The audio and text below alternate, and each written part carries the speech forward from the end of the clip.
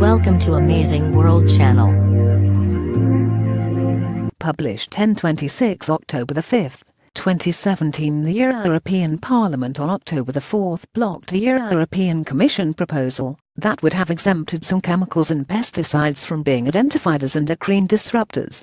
MEPs said the Commission exceeded its mandate by proposing to exempt substances which are designed to attack an organism's endocrine system.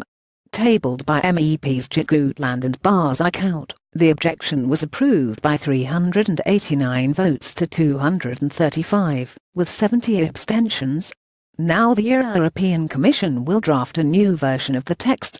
Under existing EU law, Pesticides or biocide substances must have no endocrine disrupting effects on other species than the ones targeted. To apply this rule, the EU needs a list of scientific criteria for identifying endocrine disruptors. In 2015, the European Court of Justice ruled that the EU Commission had breached EU law by failing to publish criteria for determining endocrine disruptors due at the end of 2013.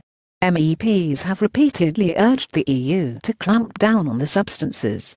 According to the World Health Organization (WHO), endocrine disruptors are a global threat. It pointed to evidence of adverse reproductive effects in fertility, cancers, malformations, which could also affect thyroid function, brain function, obesity, metabolism, insulin and glucose homeostasis.